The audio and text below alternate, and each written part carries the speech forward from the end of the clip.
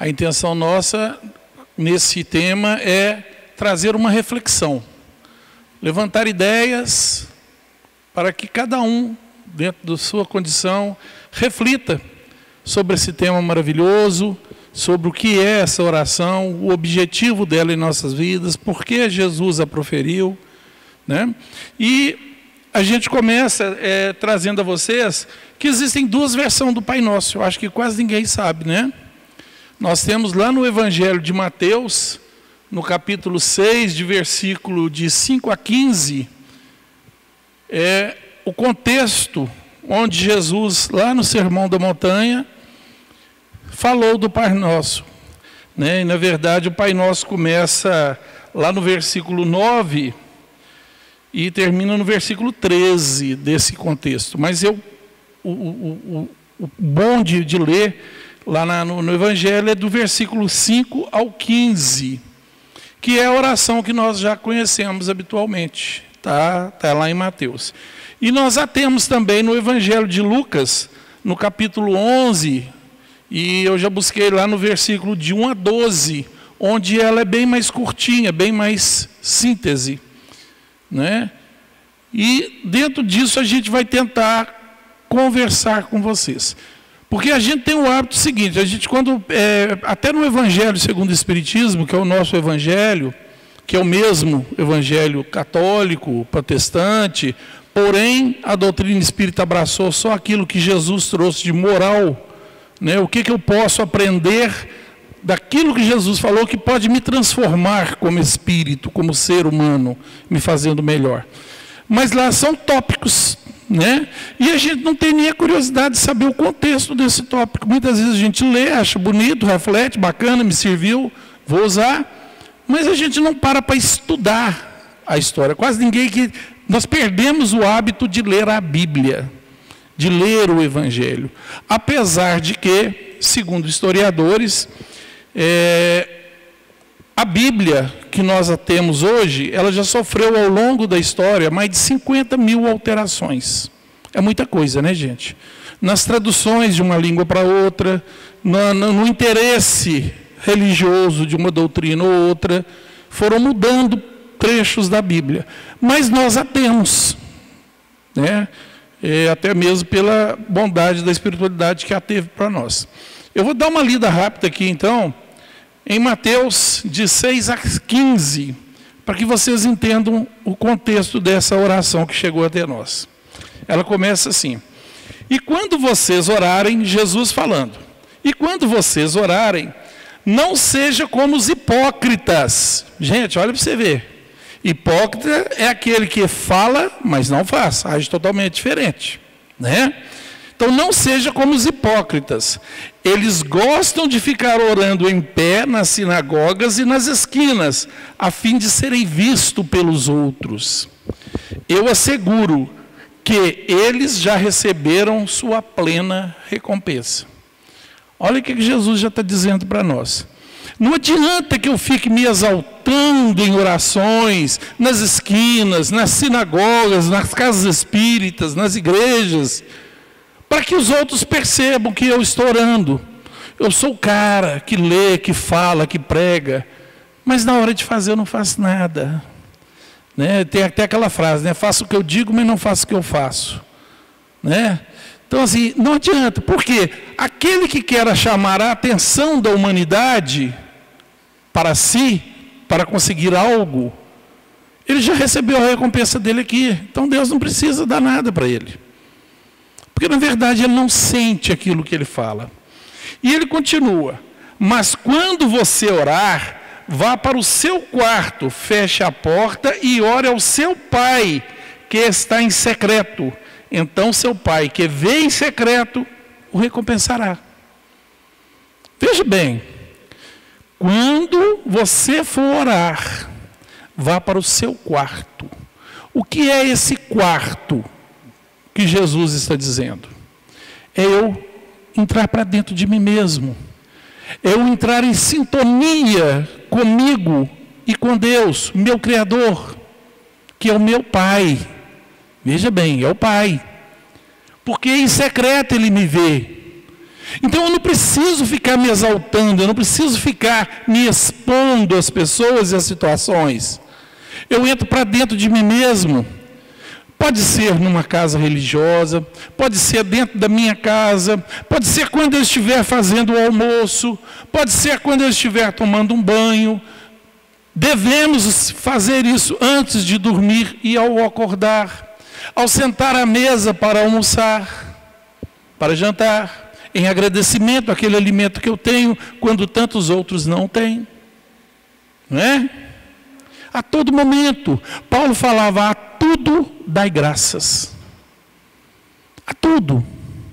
Ele não falou dar graças às coisas boas.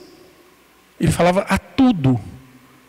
Até nas situações difíceis. Como nós falamos aqui né, no Perguntas e Respostas, tudo aquilo que me vem, que eu entendo como não é bom, é para o meu crescimento, é para o meu aprendizado. Então, quando eu venço aquela situação, eu dou graças. Que bom que eu passei por essa situação tão difícil e complicada. Que bom. É? Se a gente olhar para trás é, e pensar em todas as complicações que eu já tive durante a minha vida, todas as dificuldades, todas as decepções, todas as traições que eu já sofri durante a minha vida, hoje, quando eu olho e vejo isso, eu fico assim, poxa, eu cresci. A gente cresce ou não cresce depois de enfrentar os problemas e eles passam? A gente sente que a gente sai mais fortalecido. Quando eu sei entender e sei agir. Quando eu não fico remoendo o passado e guardando mágoa e ódio no coração. Tá? Então, entre para o teu quarto, entre para dentro de você e ore em secreto. O que, que é orar? Falar. Mas eu não preciso sempre falar, eu posso apenas falar mentalmente, porque Deus me escuta. Mentalmente também Deus me escuta. Né? Então eu posso falar com Deus, falar com o Pai, oração, orar com ação. O que, que ele está dizendo? Você ora, mas haja. Não fica de braços cruzados esperando, não. Tá? E ele continua depois, já no versículo 7. E quando orarem, não fique sempre repetindo a mesma coisa, como fazem os pagãos. Eles pensam que, por muito falarem, serão ouvidos. Gente, Jesus falou isso há dois mil anos atrás. Há mais, né? 2024 anos, segundo a nossa história. Não dá para pensar na atualidade algumas seitas e religiões, não desmerecendo, não desrespeitando, apenas uma crítica construtiva. A gente não vê pessoas repetindo, repetindo e gritando como se Deus fosse surdo. Não é? As pessoas que vão rezar lá o seu rosário, o seu terço, reza Maria, Pai Nosso, Maria, Pai Nosso, Maria, Pai Nosso e não presta nem atenção. Vocês já viram como é que eles rezam hoje? Pelo amor de Deus, não estou aqui desmerecendo as religiões. Eu respeito demais e agradeço muito, porque cada um está onde deve estar. Cada um precisa estar onde está, onde sente Deus perto de si. Estou falando daquilo que não há necessidade de ser. Tá? Se para eles é importante, ótimo, a gente respeita. Mas para nós a gente percebe que já não é uma necessidade. Hoje as pessoas pegam o rosário e falam assim: Ave Maria, cheia de Senhor, com vos pedidos, ai, nossa santificação. Porque são tantas repetições que tem que fazer, se eu não me engano, 52, acho que é isso mesmo. E ele quer terminar com tanta pressa para ficar livre, que nem ele lembra o que, que ele está falando. Só palavras, só palavras. Não existe sentimento, não existe verdade. Então ele fala que Deus não é surdo. Deus não precisa que você fique, pá, me dá, me dá, me dá, me dá. Ele te dá. Ele te dá. Pode ter certeza. Não sejam iguais a eles, os hipócritas, porque seu pai, gente, seu pai, nós vamos, eu ia falar disso depois, mas chamou minha atenção. Jesus fala assim no versículo 8: não seja igual a eles. Ele está referindo aos hipócritas. Porque o seu pai, ele não está dizendo meu pai nem nosso pai, o seu pai, sabe o que vocês precisam antes mesmo que o peçam. Eu não vou tocar, vou, vou explicar isso agora, não eu vou falar depois. Mas guardem esse termo, seu pai, singular, não dele, tá? Então, antes mesmo que eu faça o pedido, Deus já sabe que eu preciso. Então, nós temos que entender que se Deus sabe, eu vou ter. Mas eu tenho que agir eu tenho que fazer, eu tenho que me preparar. Tá? E daqui a pouco vocês vão entender tudo isso. Vocês orem assim. Aí ele começa a dar um exemplo de como orar. Porque aqui em Mateus não fala, mas em Lucas ele já fala que foi a pedido de um dos apóstolos. Tá? Mestre, então nos ensine a orar. E Jesus fala assim: Pai nosso, o Pai é nosso, de todos nós, dele, meu, de vocês, aqui ele já usa no plural. O Pai é nosso, não é? Que estais nos céus, plural. Nos céus. Entenderam? Não é um céu, nos. Santificado seja o teu nome. Ou seja, reverenciado, amado, respeitado puro no nosso entendimento, seja o teu nome. Que nome? Né? É o nome que eu quiser sentir, Deus, Jeová, Alá. Não interessa o nome que eu vou dar a Deus, desde que quando eu o pronuncie, eu o pronuncie com respeito, amor, não com medo. Nós não devemos temer a Deus porque Ele me ama e nunca, jamais vai me prejudicar em nada. Tá? Perdi aqui. Ah, venha o teu reino, venha a nós o teu reino. Qual que é o reino de Deus? Eu estou esperando esse reino vir numa forma de que Ele vai dirigir a minha vida, Ele vai tomar as decisões, Ele vai decidir por mim, Ele vai me governar? Ou é o reino de paz, de amor, de serenidade, de equilíbrio e saúde para todos nós?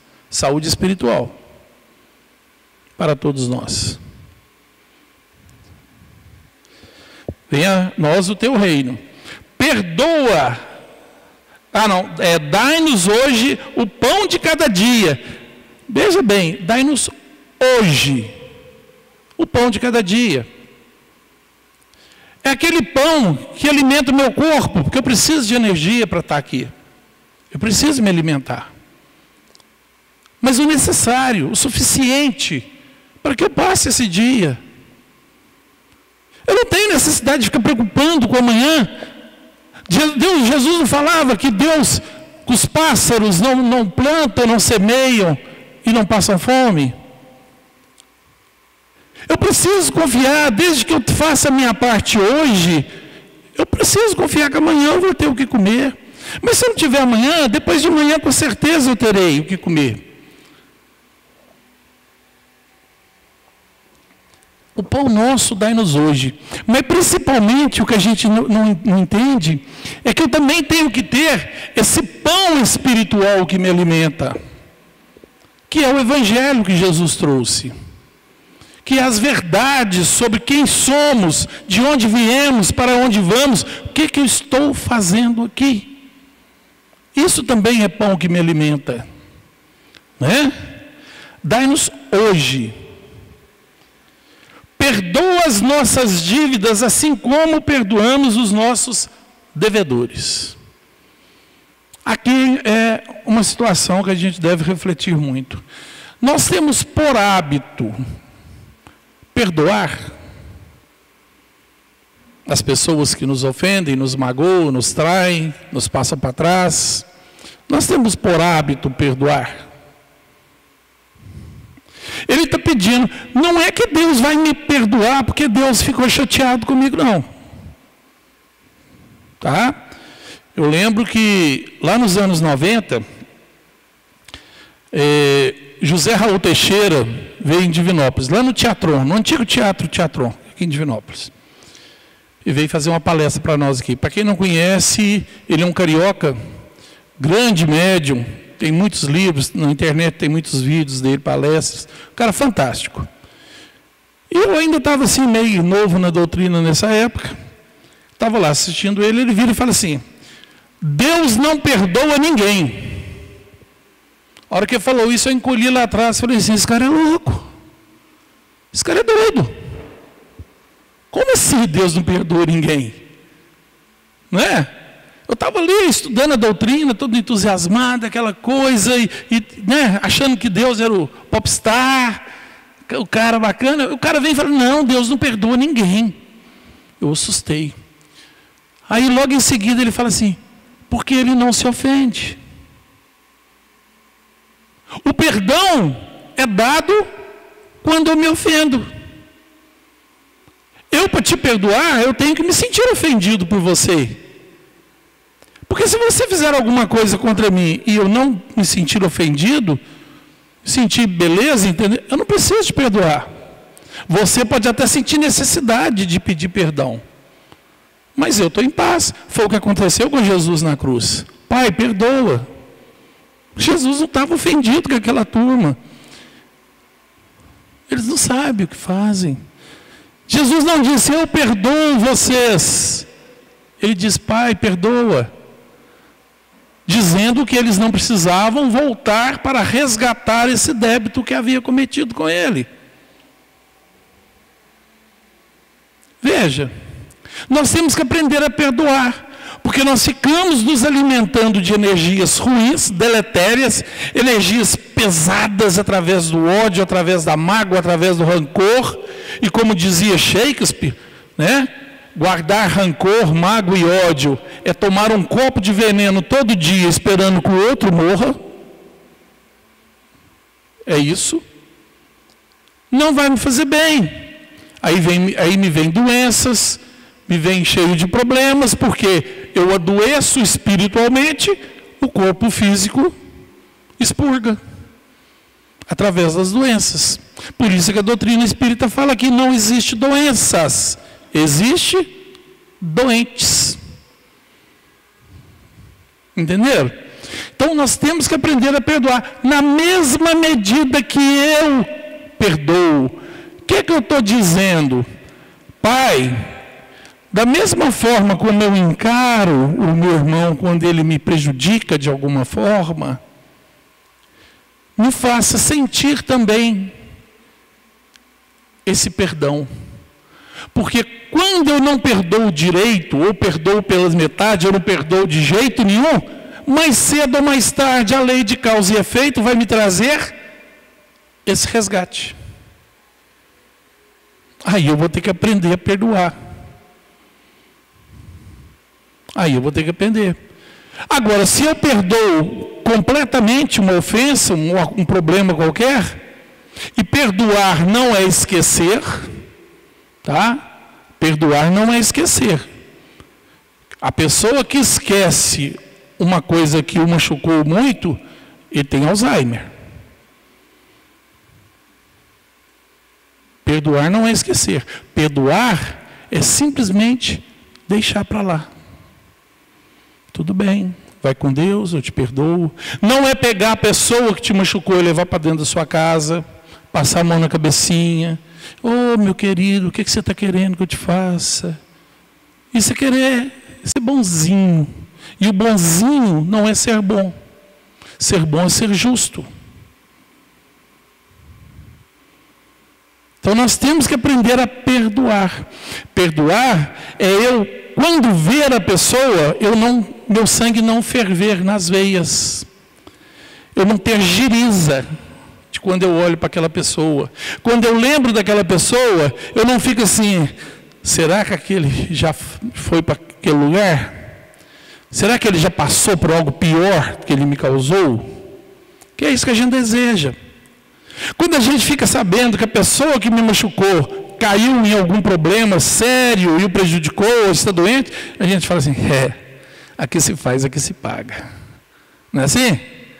A gente, de certa forma, a gente se delicia com a desgraça daquele que me machucou. Isso não é perdoar. Perdoar é eu estar em oração quando a lembrança me vier, por algum motivo, ou até por influência espiritual daqueles irmãozinhos que querem me prejudicar, eu entro em oração. Deus, Pai, que ó, eu estou lembrando dessa pessoa, realmente doeu muito, mas eu quero que ela esteja bem, eu quero que ela esteja saudável, eu quero que ela seja feliz, eu quero que ela supere, que nunca mais precise fazer novamente com outra pessoa aquilo que ela me fez. Tira do meu coração, Senhor, qualquer lembrança, qualquer coisa que me traga peso, mágoa, doença. Limpa minha alma. Faça com que eu cresça espiritualmente e que essa pessoa evolua, para que lá na frente, um dia, a gente possa se encontrar e sorrir novamente. Se eu ver essa pessoa necessitada de alguma coisa material ou até espiritual, uma palavra amiga, e eu estiver ali e ninguém mais socorrê-la, eu vou estender a mão para ela. Não para dizer para ela, tá vendo? Você me prejudicou e hoje eu estou com você. Não, eu simplesmente vou ajudar porque ela está precisando. Agora você já está bem? Estou. Então fica com Deus. E vou embora. Isso é perdoar o inimigo. Tá? Então nós precisamos aprender a perdoar. É? Perdoa as nossas ofensas como devemos perdoar aqueles que nós devemos. E não nos deixeis cair em tentação. Pai, não me deixe ceder às tentações, faça-me forte, faça-me com razão, para me perceber as armadilhas que a vida me traz e que a espiritualidade inferior também pode me trazer, para que eu não cresça. Torne-me atento, torne-me dono de mim mesmo, para que eu possa seguir em frente, meu Pai. Mas livra-me do mal. Hum. O que, que vocês acham que é o mal que ele está pedindo para a gente se livrar aqui? Você acha que é o mal que vocês podem me fazer? É o mal que os outros podem me fazer, que ele está pedindo para livrar? Será? Ou é o mal que eu posso cometer? Livra-me, Senhor, do mal, do mal que ainda tem em mim no meu coração, na minha vida. Livre-me desse mal que eu posso, talvez até por imprudência, por invigilância, causar a alguém, Senhor. Esteja comigo. Me dê sabedoria na hora de agir, na hora de falar, na hora de fazer. Porque o mal que os outros me fazem não me faz mal. Ele pode me causar prejuízo, pode me causar dor, pode me causar decepção, né? Mas o mal que me torna mal é o mal que sai de mim. E é esse mal que me inferioriza, é esse mal que me derruba. O que nos define não é o mal que eu recebo, mas é o mal que eu faço. É o, e, ao contrário, é o bem que eu possa fazer. Esse que me define. Quanto maior o bem que eu posso proporcionar, melhor é meu estado evolutivo, meu estado espiritual. É isso que eu tenho que entender. É o bem que eu faço. Então, me livre-me do mal, do meu mal interior, para que eu haja sempre no bem. E continua, porque teu é o reino, o poder e a glória para sempre. Amém. É uma frase do que faz parte do Pai Nosso, mas pouca gente usa na hora de citar a oração, né? Porque teu é o reino, o poder e a glória para sempre. Amém. E ele continua já no versículo 14 assim: Pois se perdoarem as ofensas um dos outros, o Pai celestial também perdoará vocês. Ou seja, se eu souber perdoar, a lei de causa e efeito também vai agir em mim, me causando bem-estar. Se eu não perdoar, ela vai me causar mal-estar. Não é? E no 15 ele encerra assim: Mas se não perdoarem uns aos outros, o Pai Celestial não perdoará as ofensas de vocês. Também na lei de causa e efeito, porque é lógico que Deus sempre me perdoa. Deus não fica chateado com nada que eu possa fazer, porque Ele me conhece e já sabe de tudo antes mesmo que aconteça. Porque seria muito injusto de Deus, sabendo que eu sou capaz de prejudicar alguém, permitir que eu vá lá e prejudique. Ele tem que proteger, principalmente o outro que vai sofrer a ofensa ou vai sofrer o problema, não é? Ele é pai de todos. Entenderam? Então isso aqui tudo é causa e efeito. Bom, já em Lucas, Lucas começa assim: certo dia Jesus estava orando em determinado lugar. Tendo terminado, um dos seus discípulos lhe disse: Senhor, ensina-nos a orar, como João ensinou aos discípulos dele, João Batista, tá? Então Jesus lhe disse: Quando vocês orarem, diga: Pai, santificado seja teu nome, venha o teu reino. Dai-nos cada dia o pão cotidiano. Está vendo um pouquinho de alteração? Perdoa-nos os nossos pecados, pois também perdoamos a todos que nos ofendem. Coisa que não acontece com a gente, né? E não nos deixe cair em tentação. Morreu aí, Pai Nosso. Na oração de Lucas, tá? E Lucas continua já no versículo 5. Então disse-lhe Jesus: Suponham que um de vocês tem um amigo e que recorra a ele à meia-noite e diga: Meu amigo, empresta-me três pães. Você está lá na sua casa, sentadinho, meia-noite, já deitadinho, pegando os primeiros cochilos. O seu amigo chega na sua casa, bate a porta e fala assim: Ô Márcio, me arruma três pães. Aí Jesus explica, porque esse amigo que chegou até vocês recebeu um outro amigo na casa dele que veio de viagem e ele não tinha nada a oferecer para essa pessoa comer. Por isso que ele foi lá na sua casa de pedir três pães. E o que estiver dentro responde, a pessoa que está lá dentro da casa responde assim: Não posso me levantar e dar a vocês o que me pede. Eu não vou levantar da cama agora, não. Isso é hora de bater na minha porta, meia-noite. Não vou, né? E Jesus disse: Embora ele não se levante para dar-lhe o pão, por ser amigo, por causa da importunação, se levantará sim e lhe dará tudo o que precisar. Por mais que você não queira, você tem razão de se sentir indignado. Você já estava até dormindo, ou estava ali, né? É chato. Mas se a pessoa bate na sua porta e pede, levanta e atenda. É isso que Jesus está lhe dando. Eu digo, ah não, isso que eu já li. Por isso digo: peçam, peçam e será dado. Busquem e encontrarão. Batam e a porta será aberta. Pois todo aquele que pede, recebe o que busca, encontra, e aquele que bate a porta será aberta. Entenderam? Vamos tentar limpar um pouco, tirar, como dizia o Sr. Roberto Gontijo, vamos descascar esse abacaxi, para a gente ver o, o fruto. Percebam o ato aqui, ó. Busquem, batam e peçam. Três verbos de ação, concorda? Bater, pedir, buscar? Não é verbo de ação? O que, que ele está dizendo? Que quando eu quero algo de Deus, eu tenho que fazer minha parte. Deus não vai agir na minha vida diretamente. Você acha que Deus vai olhar? Eu vou olhar para baixo, né? porque Deus está tá aqui. Né? É aquela, aquela impressão de inferioridade.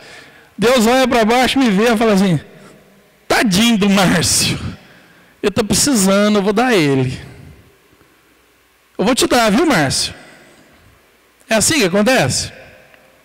Se ele fizesse isso comigo, se Deus me per percebesse que eu estou precisando de alguma coisa, que realmente eu preciso muito dessa coisa, é muito bom para mim isso.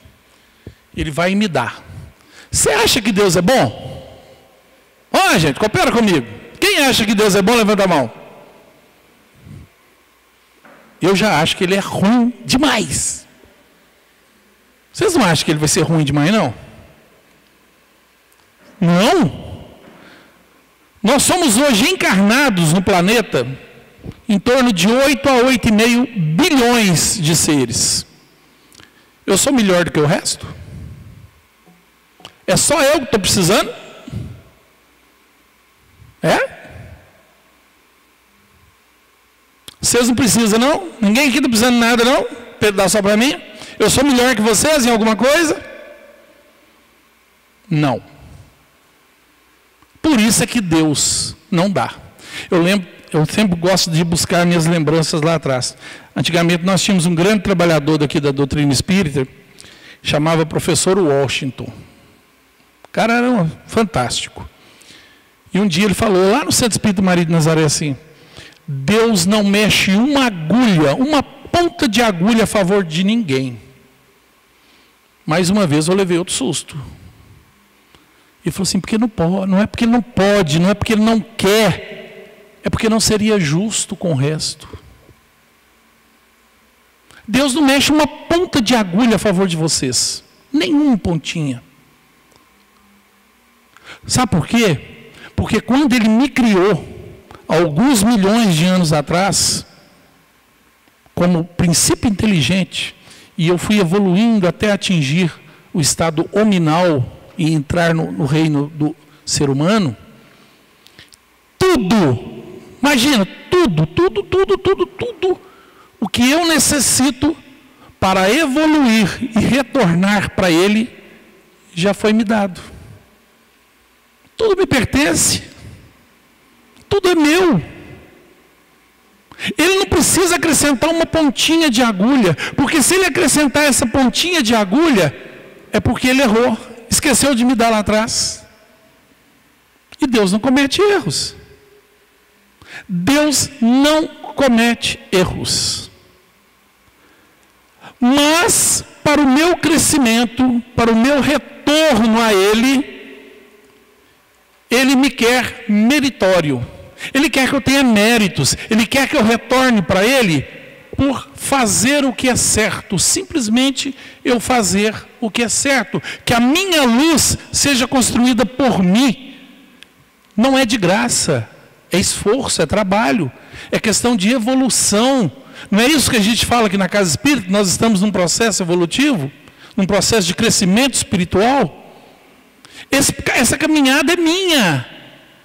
E, e o instrumento que ele me deu, que é o maior poder que Deus dá aos espíritos quando os cria, chama-se livre-arbítrio, que é o poder de decidir.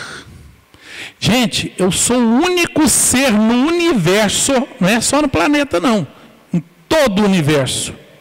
Eu sou o único ser que pode tomar decisão de mim mesmo posso fazer as minhas escolhas. Ninguém faz por mim. Nem Ele, que é o meu Criador, faz. Porque Ele me deu esse poder. Falou, Márcio, é seu. Se vira. Você escolhe, você decide. O que, que você quer para você?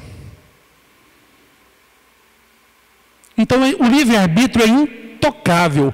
E é por isso que, apesar de sermos criados todos iguais, Segundo a doutrina espírita, todos nós tivemos o mesmo princípio, né, que a gente chama de princípio inteligente. Nós fomos criados simples e ignorantes. Simples porque não há diferença. Deus não criou ninguém diferente um do outro. E ignorantes porque nós ainda desconhecemos a nossa natureza. nós ainda nos, nós não nos conhecemos direito. A gente olha no espelho, vê o reflexo e fala assim: aquele ali sou eu. É ou não é? Mas aquele ali não sou eu. Aquilo que eu vejo no espelho é o corpo temporário que eu estou usando, que vai acabar. E que ao longo da vida ele vai mudando. Muda ou não muda? A gente cresce, a gente envelhece, cabelo fica branco, alguns caem, uns ficam mais gordinhos, outros ficam mais magrinhos. Né? Esse, esse corpo muda durante o tempo. Aquilo não sou eu, eu sou o ser inteligente, eu sou o espírito que temporariamente está usando deste corpo. Este sou eu. E a gente acha que é interessante. Bom, vamos voltar aqui.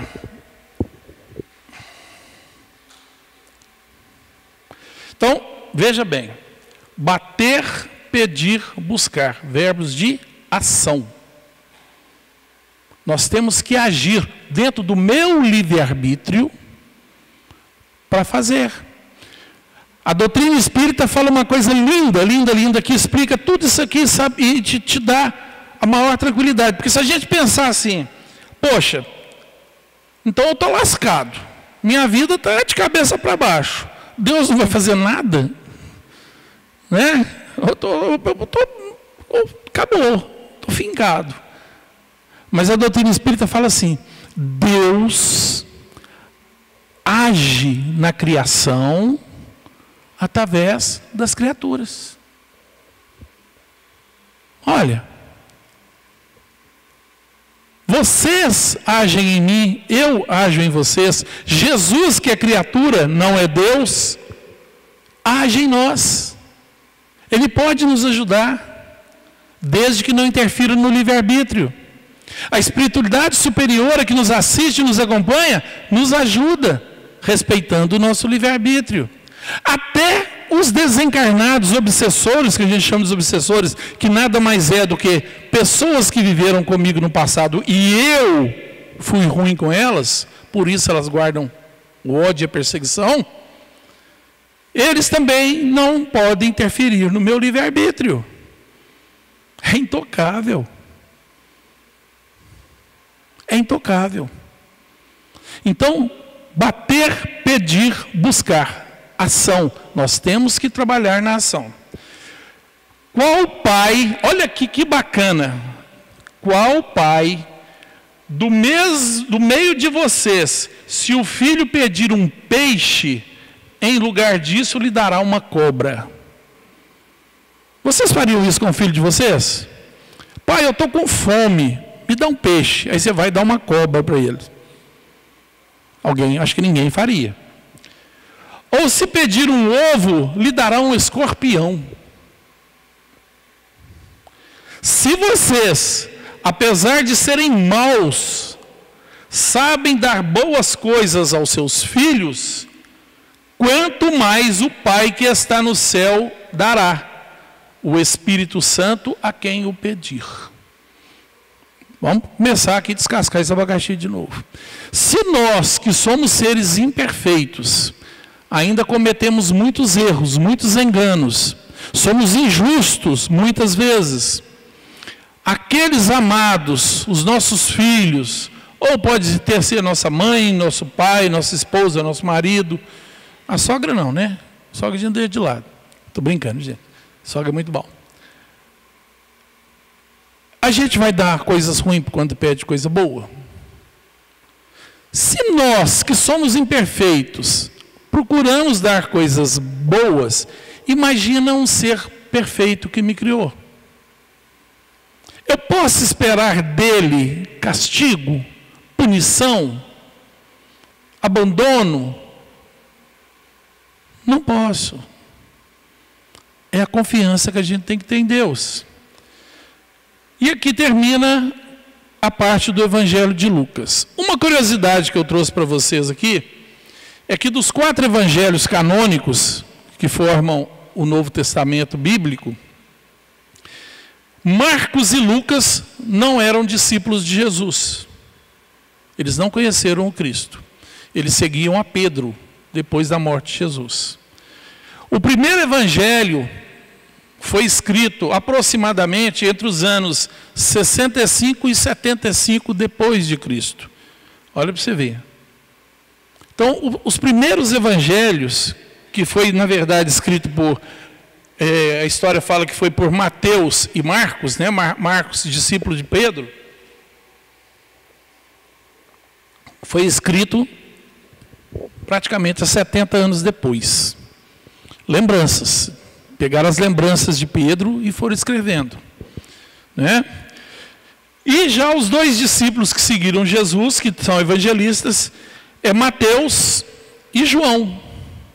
Esses dois andaram com Jesus.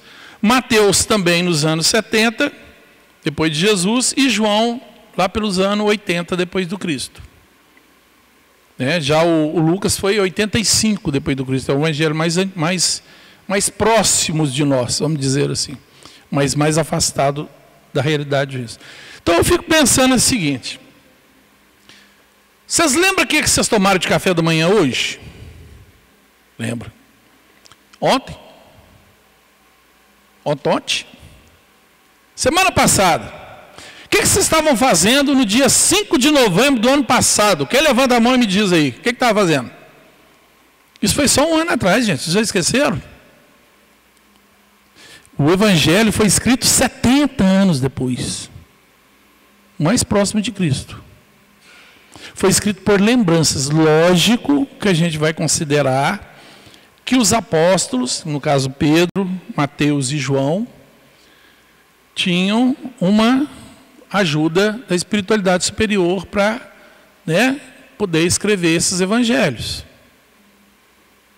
Né? Umas lembranças mais vividas. E ainda teve as mudanças, igual eu falei para você, cerca de 50 mil alterações gente levar em consideração. Bom, mas uma coisa que eu quero pegar aqui também é quando ele fala que Deus dará o Espírito Santo a quem pedir. Eu acredito que essa palavra Espírito Santo foi incorporada no Evangelho, não foi dita por Jesus. Tá? Não foi dito por Jesus. Primeiro, porque a palavra Espírito foi criada por Allan Kardec há 160 anos atrás. Não podia estar na Bíblia. E santo deriva de São. Tem Santo Antônio, São João. Porque não ficaria legal São Antônio. Então virou Santo Antônio. Já cinco minutos? Acabou rápido, hein? Entenderam? Então, santo e são palavra. E o que, que a palavra são significa? Quando você chega perto de uma pessoa e ela está bem de saúde, sadia, você não vira para ela e fala assim, você está são? Não é assim que o médico fala para a gente? Você está são. Você está sadio, você está saudável. Então, quando a gente pensa na palavra Espírito Santo, quer dizer que o Espírito já não tem mais erros, já não comete mais erros. É um espírito puro, elevado. Ele pode ser qualquer ser da criação de Deus que atingiu um nível evolutivo superior. Concorda? Então, beleza. Então vamos lá. Agora, para encerrar nesses cinco minutinhos que o rapaz me deu ali, posso dois minutinhos a mais, pode, né? Vamos começar agora de novo com a leitura do Pai Nosso. E vamos tentar desmiuçar ela aqui, bem rápido. Pai nosso que está nos céus. Você lembra lá no início que eu falei que ia explicar isso? Pai nosso que está nos céus. Pai, Criador de tudo e de todos, inteligência suprema, causa primária de todas as coisas. Então vamos entender, ele é um pai. Por que pai? Poderia ser mãe. Mas na época de Jesus, o patriarcado é que governava o mundo. A mulher não tinha muita voz. Né? Mulher não tinha muita voz. Jesus, imagina Jesus reencarnando hoje ainda, e encarna num corpo feminino. Ele ia ter a mesma voz que teve. Hoje ainda, a mulher ainda é um pouco deixada de lado. Apesar de tanta evolução e tantos direitos. É ou não é? Então naquela época era pior, tá? Mas poderia ser mãe. que está nos céus. Gente, nos céus. Jesus falava assim: na casa de meu pai há muitas moradas. A casa do pai é o universo. As moradas são os planetas, os astros e os mundos de vida física que existe não é só na Terra.